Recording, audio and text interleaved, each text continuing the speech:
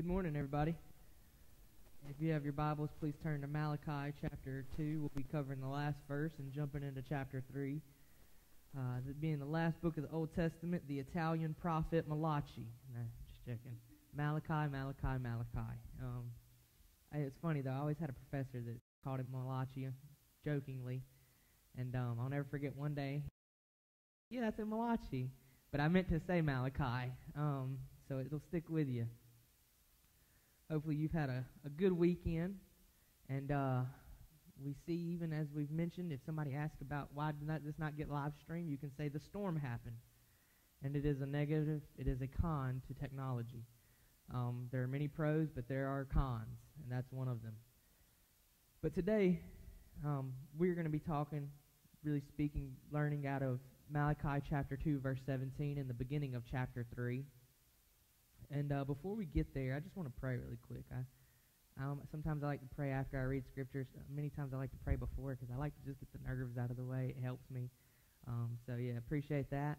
And I was gonna joke since I thought I was gonna be live today and tell say tell everybody say happy birthday to Mrs. Mrs.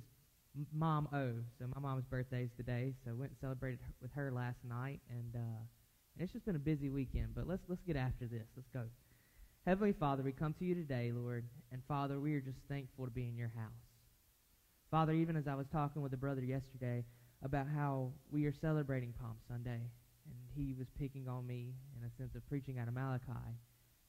Father, I, I think it's amazing that even out of a text such as we'll cover today, we will speak of, of the coming of Christ. And that we see this overall theme throughout Scripture of your Son even when at times it's not clear. And Father, we just thank you that you gave your only Son, Jesus Christ, to die for our sins. We are not worthy. Father, in many ways we are wicked, and we and, and in, in saying that, Father, I ask you that you forgive us of our sins. And a sinful man, Father, I pray that you help us to lift you up. Strive to become more and more holy understand the, the gift of salvation. So that one day we can stand before you and we can hear those words, Well done, my good and faithful servant. And so, Father, I do pray for our time now. I pray that you would speak through me, Father. If I say anything, mess anything up, I pray that you'd help us to forget that. But, Father, that we may grow closer to you and understand you are the one we are worshiping here today. We love you, we thank you, we praise you. And it's in Jesus' precious and holy name I pray and give thanks. Amen. So, speaking today in, in, at a Malachi, I want to talk for a minute about fire. You may not have known this, but your associate pastor, that being me, is somewhat of a pyromaniac. I actually enjoy fire. I like fireworks. I like sitting by, by a fire. I, I like, you know, poking a fire with a stick. And and if you know anything about me, it, it really you see it through my life. You see the things that I got into when I was in little and and sometimes it wasn't great. Uh, when I was two, actually, and this I guess you could say didn't deal specifically with fire, but when I was two, my parents had this um, oven that you know the the outside glass, you know the ovens now with the outside glass doesn't get hot. Thankfully, you can touch it; it doesn't burn you. Well, this one that they owned at the time got hot, and if you touched it, it was going to burn you. And as a two-year-old little Johnny, they probably told me a million times, "Do not touch that." And according to my mom, because I don't remember this again, I was two, I just know we have VHSs, so I am that old, of me going around in my pull up with a little thing on my hand and a little medicine and everything wrapped up because little Johnny was running around in the kitchen and decided to trip over his own feet like Colston. Oh, anyways, and, and hit the stove and try to catch himself, and I burnt my hand really, really bad. I even have a scar. Most of you, some of you know this, some of you may not. I was in the NICU for two months because I was born at two pounds seven ounces. I was premature. I was supposed to be born July 1st. I was born April 28th. And one of the IVs actually burnt me, and I literally still have the burn mark on my arm to this day. I can think of other times about when I was seven or eight and we were camping out, and um, we'd made a fire and we cooked on it, and it'd been probably five or six hours since we not cooked on it. But little Johnny, literally not as an example, decided to go over there and pick up one of the coals. Uh, and I burnt my hand then. And I could tell you numerous stories like that, with especially with fireworks. I love fireworks to this day. But it, I have so many stories of where I got burnt. Where they scarred me. But I also remember being in third grade, and I actually had a guy teacher in elementary school named Mr. Kerr. And he allowed us to do this really cool project where we got to break up crayons and make them into candles. And then he, he and he explained, you know, how the fire will make the candle and it'll be really cool and the wax and all this. And as a third grader, I'm just like, this looks cool. That's kind of what he got out of me. And he also, um, and, and again, I don't know how I remember this so well, but he also allowed us to use two crayons, made a marble and like mixed the crayons inside and put it on a string. So we had like marble necklaces. And, and man, as third graders, we were awesome. And so fire is very helpful. You know, very, fire is good. And that's what I think we must not forget, even as we look into this passage today, is that fire can be consuming. You know, you think of a forest fire, it's, it's, it's, it's amazing, it's huge, it's burn, it burns everything in its path, it leaves, it leaves nothing behind. It's consuming. But just like that candle and just like that marble, there is a refining fire that makes things such as gold and silver more pure and that makes things such as that crayon as an eight year old and that marble as an eight year old just look super cool. And that's what I want us to see today is I want us to see God's refining fire that Malachi mentions here. So if you are able, I'd love for you to stand.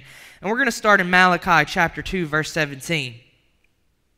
And Malachi writes here in verse 17, he says, "You have wearied the Lord with your words, yet you say, how have we wearied him?" and that you say, Everyone who does evil is good in the sight of the Lord, and he delights in them? Or where is the God of justice? Chapter 3, verse 1. He says, Behold, I'm going to send my messenger, and he will clear the way before me, and the Lord whom you seek will suddenly come to his temple, and the messenger of the covenant in whom you delight. Behold, he is coming, says the Lord of hosts. But who can endure the day of his coming? And who can stand when he appears? For he is like a refiner's fire and like a fuller's soap. He will sit as a smelter and purifier of silver, and he will purify the sons of Levi and refine them like gold and silver, so that they may present to the Lord offerings in righteousness. Then the offering of Judah and Jerusalem will be pleasing to the Lord, as in the days of old and in, as in the former years. Then I will draw near to you for judgment and I will be a swift witness against sorcerers and against adulterers and against those who swear falsely and against those who oppress the wage earner and his wages, the widow and the orphan, and those who turn aside the alien and do not fear me, says the Lord of hosts. For I, the Lord, do not change. Therefore, you, O sons of Jacob, are not consumed. You may be seated. So, again, here, as we've mentioned before, God is writing, Malachi is writing and being used by God to write to Israel, but there's so much still here that applies today. Just looking at verse 17, and, and again, I told you at every section we stop out, there's going to be this uh, kind of this, this assertion, this comment, and there's going to be a question from the people, and then God's going to answer. And, and we get right into it here in verse 17. We see it, it says, we see this assertion in the very beginning. It says, You have wearied the Lord with your words. God is telling them, You have wearied the words with the, excuse me, you have wearied the Lord with your words. And they respond, How have we wearied him? They basically say, How? How have we done this? And he says, You say that those who do evil are good. And let me just stop right there and say that's still happening today.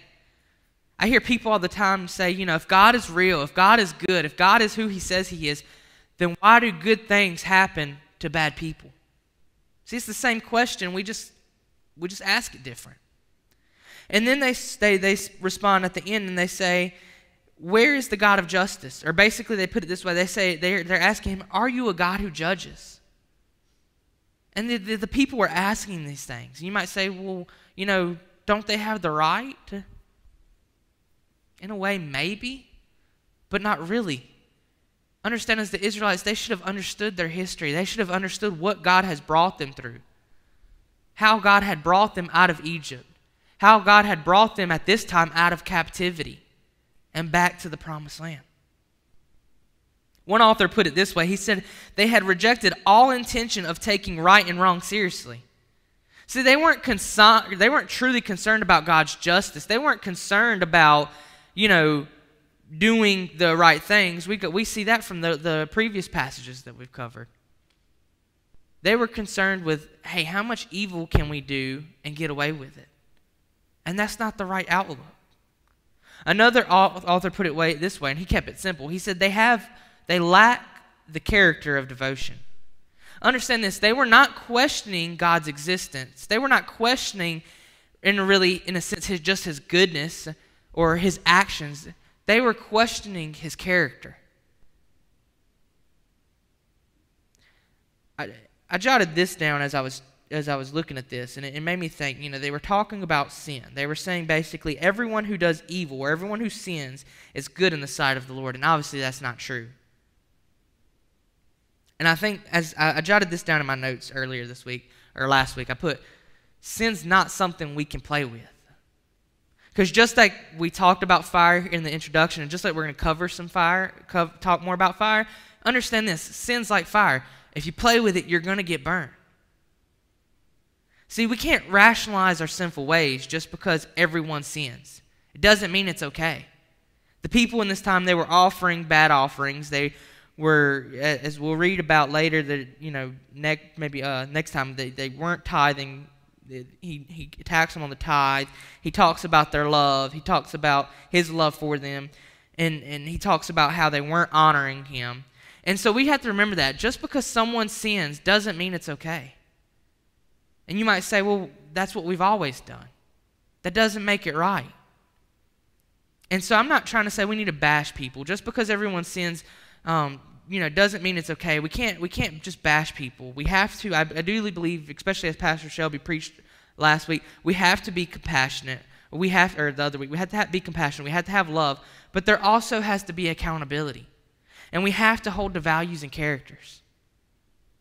See, it's great. We, let's, let's be loving and let's be compassionate. But where's the accountability? And so, in saying that and speaking of this, what I want us to make sure we understand is there has to, in a sense, be a middle ground. You know, I think we want to take the pendulum and say, well, we can't show hate, so we have to love and, and be compassionate, and so we can't be accountable. And that's not it.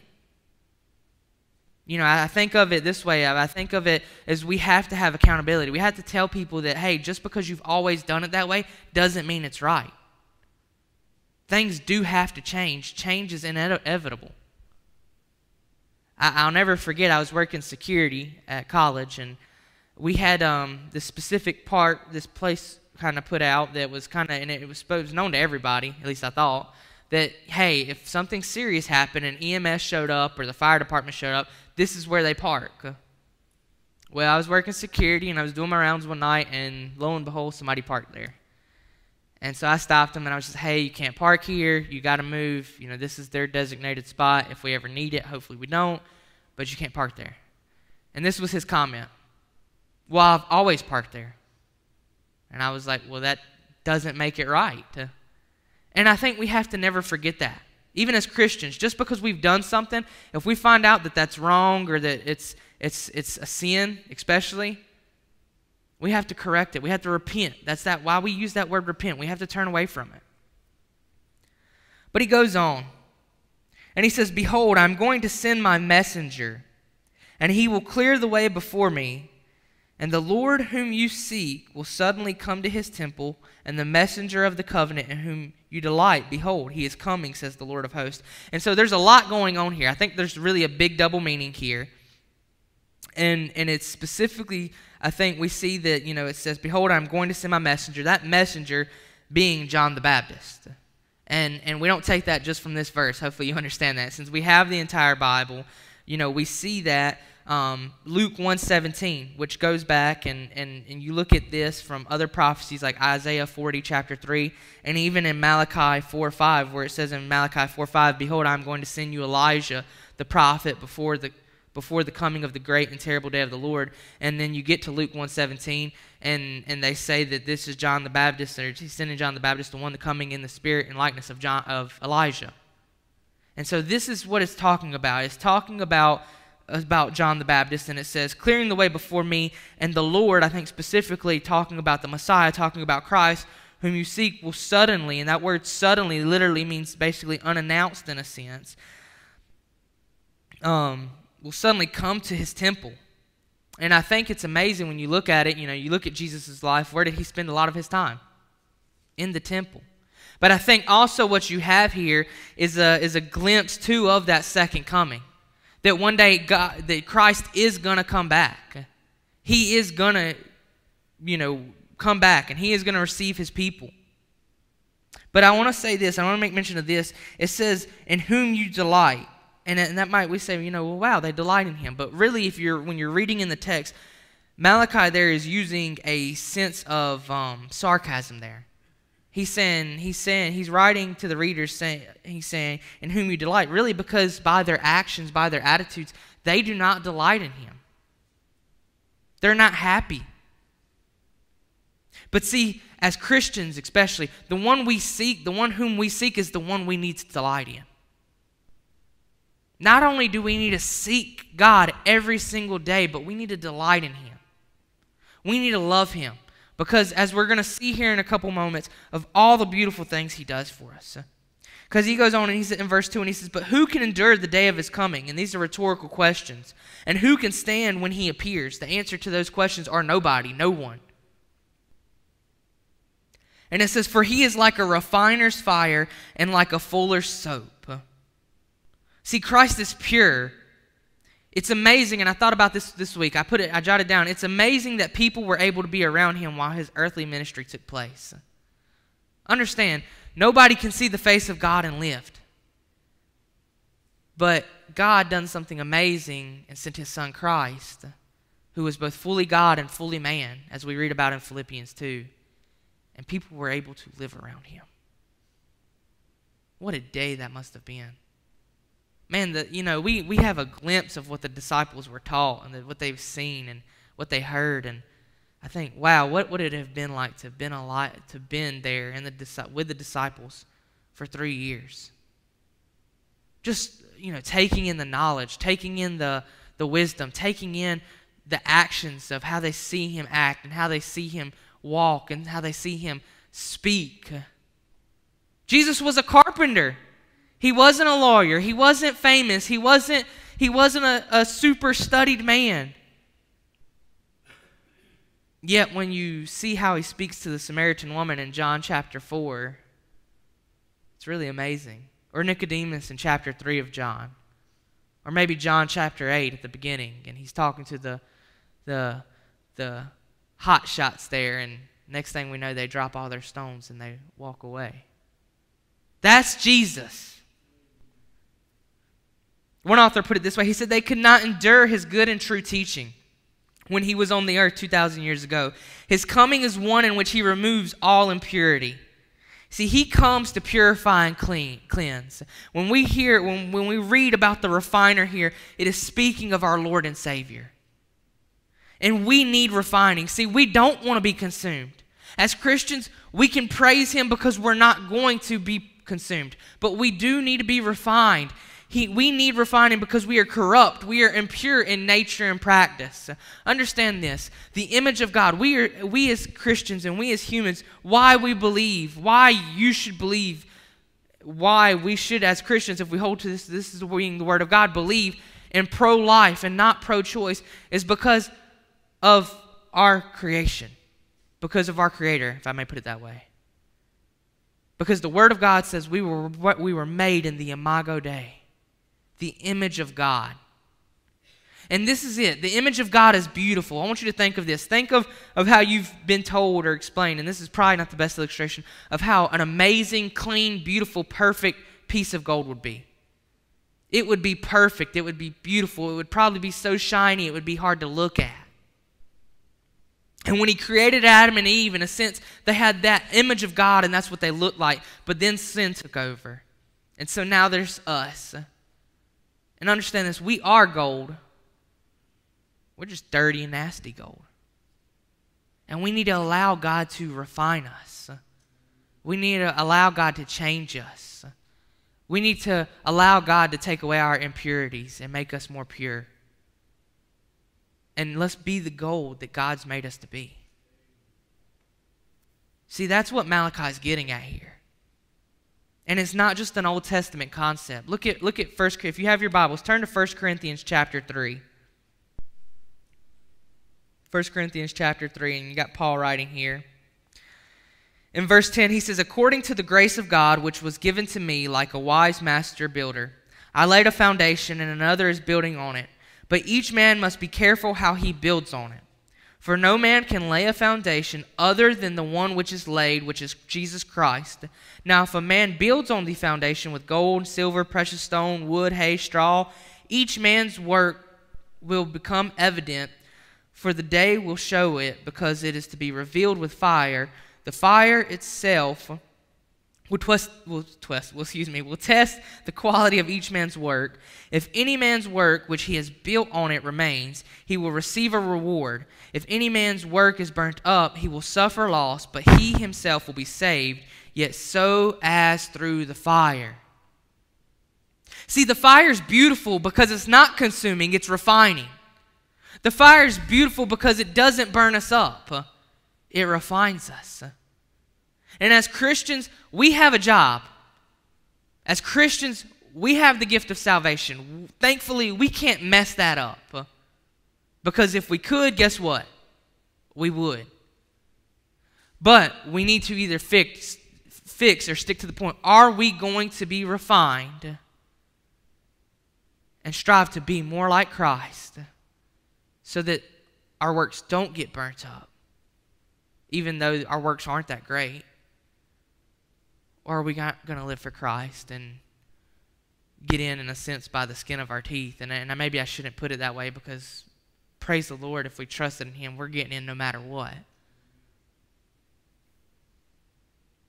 But see, that's God.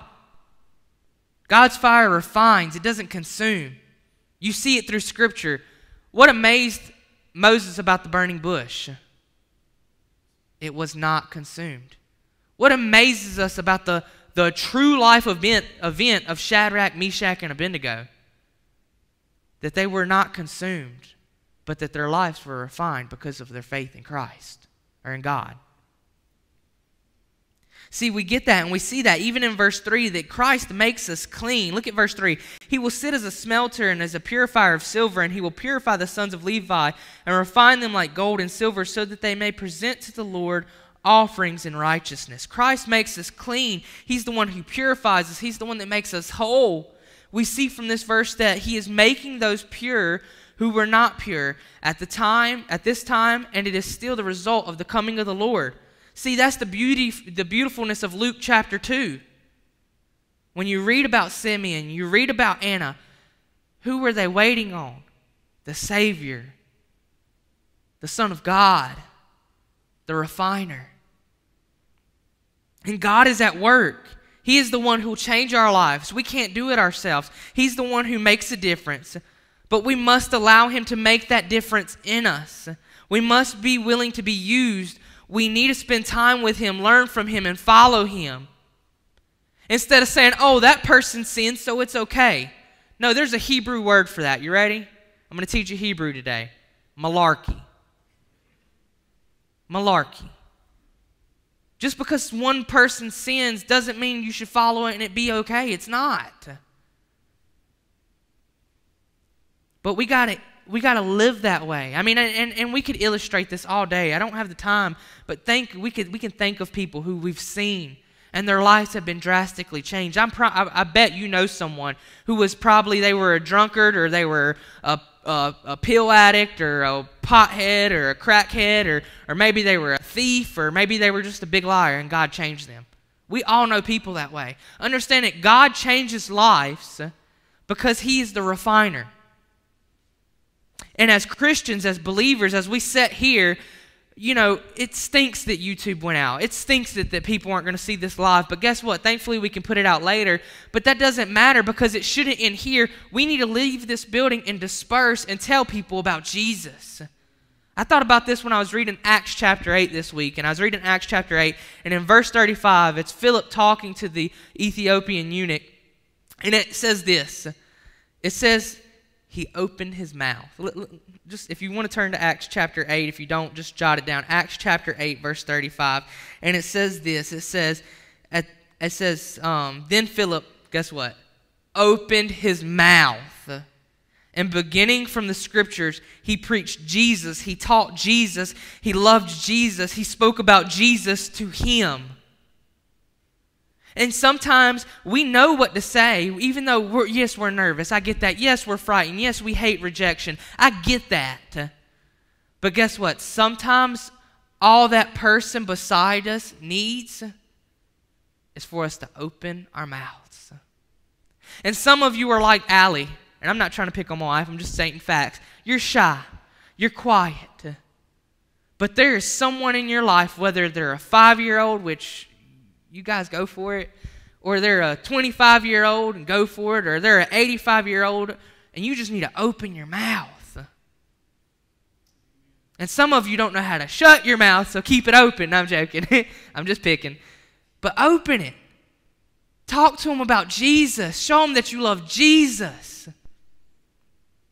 Why? Because we see this kingdom aspect that should be in the front of our minds here in verse 4. It says, Then the offering of Judah and Jerusalem will be pleasing to the Lord.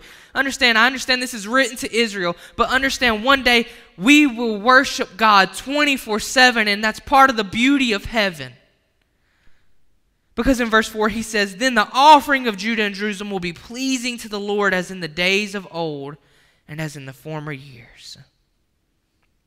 And he goes on in verse 5 and he says this He says, Then I will draw near to you for judgment, and I will be swift witness against the sorcerers, and against the adulterers, and against those who swear falsely, and against those who oppress the wage earner and his wages, the widow and the orphan, and those who turn aside the alien and do not fear me, says the Lord of hosts. He said, You say I'm not a God of judgment. You say I'm a, I'm a God who won't judge. These are the people I'm going to judge.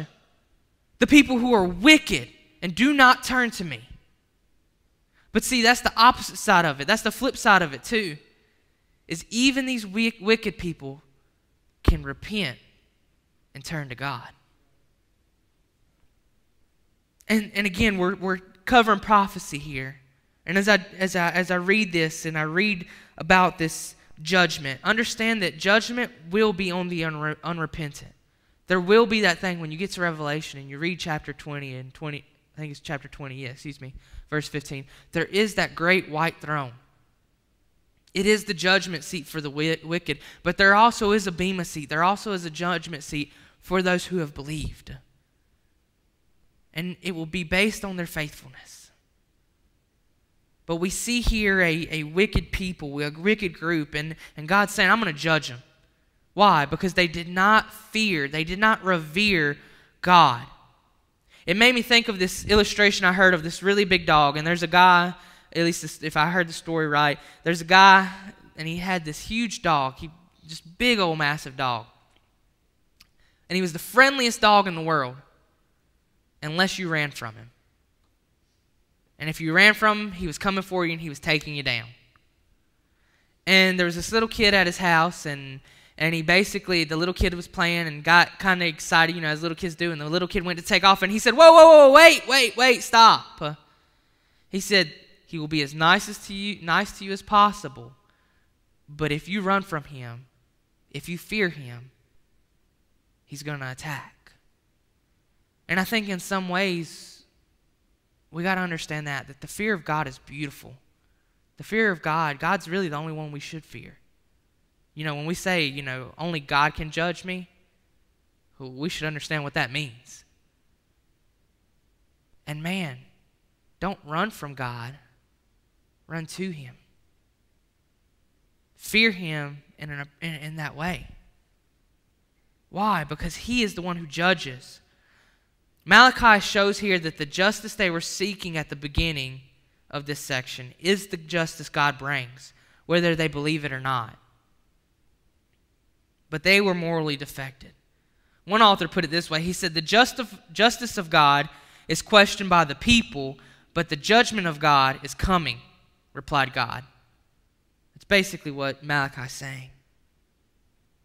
And he says in verse 6, he says, For I, the Lord, do not change. Therefore, you, O sons of Jacob, are not consumed. and excuse me, I, I want to look at something else. And we talk about the judgment of God, and we talk about God's judgment. If you're taking notes, jot down Romans 14, chapter, uh, chapter Romans chapter 14, verse 10 and through 12. And listen to first chapter 14 real quick. But you, why do you judge your brother? Are you again? Why do you regard your brother with contempt? For we all stand before the judgment seat of God. For it is written, As I live, says the Lord, every knee shall bow to me, and every tongue shall give praise to God. So then, each one of us will give an account of himself to God. God is our judge. And I think of that, and I think of the amazing thing of what that looks like. I explain it to the teenagers this way all the time. We have a courtroom, God is our judge. We are the person standing guilty, and Satan is the, is the person standing there blaming us of all our guilt. But the beautifulest thing in this picture is that right beside us is our lawyer, and that is Jesus. And as we'll probably talk about next week, at least in a little piece, is Jesus, our lawyer, defends us because he says, hey, he's forgiven. He's forgiven. She's forgiven. She's forgiven. Because I have died for their sins. And we serve the same God that Malachi served. We serve the same God the disciples served. Why? Because God says in verse 6 For I, the Lord, do not change. Therefore, you, O sons of Jacob, are not consumed. And we can apply this to our lives. Oh, you Christians, you are not consumed, but you are refined. See, God does not change. He's always the same. He's never changed and He never will change. God's character and eternal purpose do not change. We see from the beginning that their view of God had changed to this verse now where God's showing, hey, I haven't. And even though He did not, they were still lost and still confused. But this verse, I think, really shows us that we have hope. Why? Because God has not changed. And so, God, what we see is God promises, promises us justice. It's our job to wait and allow Him to work things out. Why? Because He is in control of all things. Also, I think we must never forget that our hope is not in this world, but it is in God, and all, and, and that's and all we have look, to look forward to. See, when we, I read a passage like this and I think about the kingdom and I think about heaven, I get thrilled. Why? Because God's not changed. He's not changed his love for us. He's not changed his compassion for us. He's not changed his mercy. He's not changed his grace. He's not changed heaven. Or at least, and he might have, you know, anyways, I guess getting back to that. He's not changed. It's still going to be just as beautiful as when we read about it. And so when we read this oracle, this prophecy of God's coming judgment, I think there's three things we have to see here. We have to see that we cannot justify sin. It just won't happen. You can't justify sin. And if you try, I'm going to be the first one to tell you you're wrong. And I'm going to try to do it in the most loving way possible. But I'm going to tell you you're wrong. You can't do it. We see we need to see and this is actually the title of me the message. We need to see that God is at work. I'm not at work, you're not at work. We need to be working, but we need to understand that it's God's work, not ours. And finally, we need to understand we have hope in him. We have hope in him. Your day may suck tomorrow. Your week may stink this week. You might have an hour sometime this week where life just stinks. And that's where you may need to take that time and just say and just sing, you know, all my hope is in Jesus. Praise God, my yesterday's gone. But trust in God, not to get rid of all your sin right now, because that's not going to happen. That is part of the refining process. If, if you hadn't caught that, that's part of the refining process. We're going to be refined. And part of that process is, is, is turning from our sin slowly. Refine, you understand, refining is a process. You know, you don't just stick in the heat and boom, it's done. But we must trust the refiner. We must trust the refiner. And catch this, be ready for this. And you have to trust the fire. You have to trust the fire. So, next time you go through fire, don't ask, What is it consuming? Ask, What is it refining? Let's pray. Heavenly Father, you are the great refiner. And Father, I want to say I'm very thankful that your fire does refine us and does not consume us. And so, Father, my prayer is today that as we go through these trials, as we go through these tribulations, Father, that, Father, that you would refine us, that you would make us more like you, make us more like Jesus. But my prayer also, Father, is that if there's anyone that hears, the, hear this today and, Father, they've not been changed, that they would come to a saving knowledge. Father, that you would use the Holy Spirit and work in their lives, that they would trust in you as Lord and Savior today. Why? Because Father, you you hold all the hope. Father, our Lord, our, you are our Lord and our Savior, and our trust is in you. And so, Father, I pray that you'd help us to live changed lives. And I, I pray, Father, that as we leave here today, that we would glorify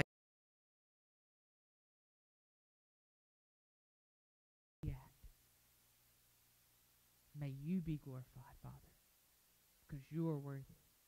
And it is in your Son's precious and holy name we pray and give thanks. Amen.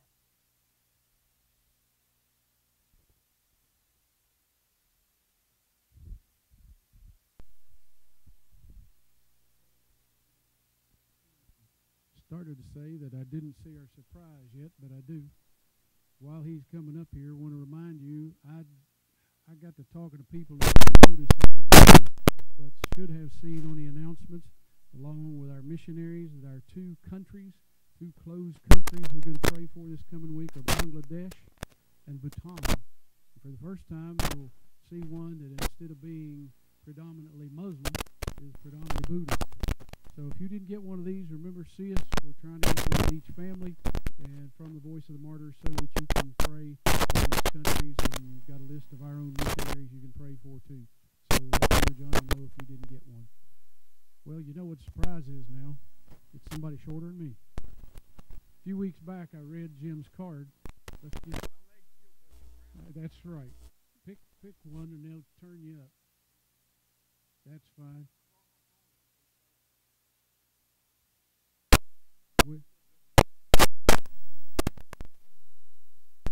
I don't know. I was listening to Johnny Hunt yesterday, and, and a phone went off, and, and what was it he said, Jason? From heaven or important call coming in or something. We read Jim's card a few weeks back, but he wanted to come and say it to you face to face.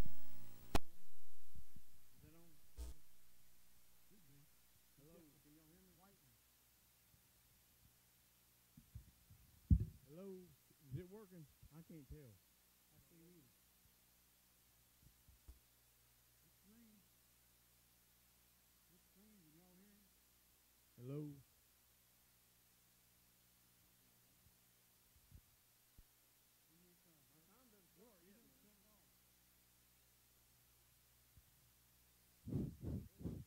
I'm on now. Anyway, thank y'all for letting me come by. I just want to say, I came just to let you know. First of all, if I leave, when I leave here, it's to God be the glory. It's nothing about me. Uh, I'm gonna try to get this up tearing up. Priscilla, when I was I appreciate you uh, doing what you did for me. I, I wrote a couple things to sound off, and I was like Ricochet Rabbit and Yosemite Sam on 30 milligrams or 60 milligrams of prednisone, and and she helped me write a couple of articles for Sound Off. She had to re- redo it all. Uh, you know, all I can say is to God be the glory. Um, I came here to thank y'all for what you did.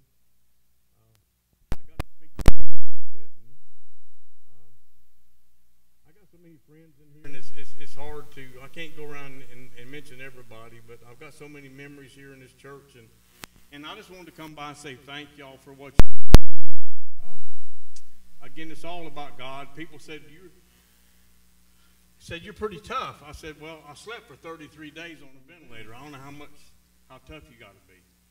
And um, I was in the hospital 58 days. Probably two weeks was longer than I needed to be, but I was there.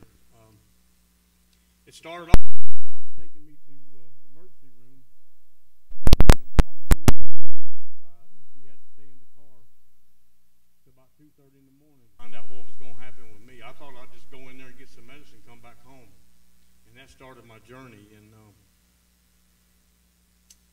uh, I don't know how how bad things got. Barbara said they were really bad. Her and the family would call and and they'd take the phone to me and pray. And uh, one time, a couple times, Barbara said that, that they said when, when Brent said, I'm gonna, we're to pray, I closed my eyes. And so subconsciously, maybe I was picking stuff, I don't know.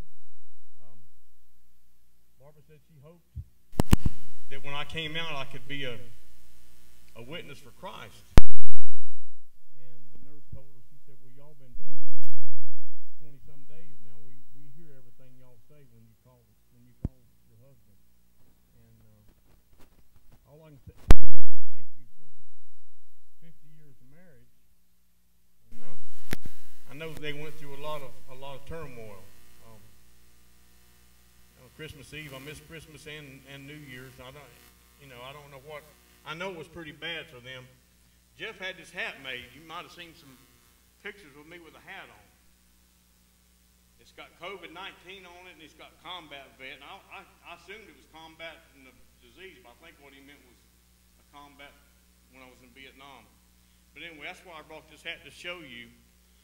I got me a daily bread when I came in your church a while ago, so I got me a daily bread. And here's my mask. If I got to wear my mask, I still believe in the flag. And that's one, one of the masks that Barbara got.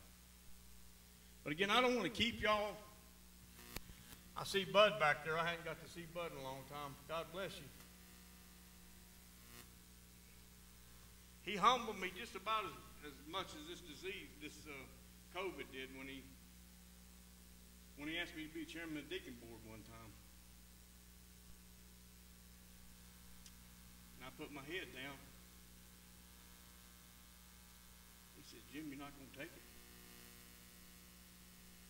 I said, you know, God said he made Moses' mouth whenever he asked Moses to speak. And I, all I could do was, was when a godly man like that appoints you and asks you to be the chairman or put your name in for nomination, what can you do? You just have to, to say to God be the glory. But anyway, I just want to say thank y'all to everybody here. I hope to see people around. Um, one reason when, I, when we left, when, when we left Victory Baptist, I moved my membership. I think people got surprised that I did that. But we joined my son's church, and I don't think you ought to be in the church and, and have your role on some other church and not supporting it. And that's why I moved my membership. I'm still, to me, I'm still a charter member here at this church. And uh, my family is. Anyway, thank y'all for letting me come by. And again, I love y'all. Um, Ruth, whenever you left to go on trips, I always told you Shel- Shelby was ruthless while you were gone. So I never forgot that either. And I won't tell you the joke about the fox, the West Virginia fox they caught in the trap. God bless y'all. Thank you very much.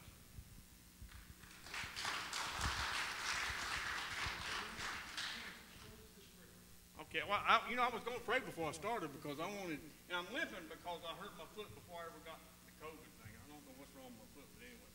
Okay, Father, we thank you for this beautiful day today. Lord, thank you for letting me come back with both feet on the ground and being able to say thank you to a people that we love very much. I told a guy at church last week, I said, have I told you lately that I love you? He said, Yeah, last week you did. Lord, I just know what your word plainly says that if we're your disciples if we show love one for another. And I think about Romans 10 9. If thou shalt confess with thy mouth the Lord Jesus, and believe in thine heart that God hath raised him from the dead, thou shalt be saved. With the heart man believeth unto righteousness, and with the mouth confession is made unto salvation. John 14, 6, Jesus said, I'm the way, the truth, and the life, and no man comes to the Father but by me. There's no other name under heaven given among men where we might be saved. God, I thank you for letting me come back. And uh, I, I know I had one foot in the grave. I don't think the other one was there. But Barbara was convinced when they weren't giving me my medicine for Addison's disease that uh, for the 10 days that uh, I was going to be dead if, if my doctor hadn't intervened. And he did, he did call him and tell him he needs that medicine. Lord, I thank you for Dr. again that's going to retire this coming Wednesday. A man that found my Addison's disease 35 years ago, and he's still, he's going to leave and go, go over to Wake Forest and teach. Anyway, Father, thank you for letting me come here today. I thank you for, for giving me the words to say and praying for me when I, and when I don't even know what to say. I thank you for friends and a community that, um, as I went to church today, there was Bob from House of Hope. And I said, I'm, I'm Brent's dad. I had told him before, and, he, and, and his wife said, Oh, we've been praying for you. So even today, somebody said that to me. So God is so humbling. It's been overwhelming. But I thank you for Victory Baptist Church and what it stands for here. And God, these lovely people.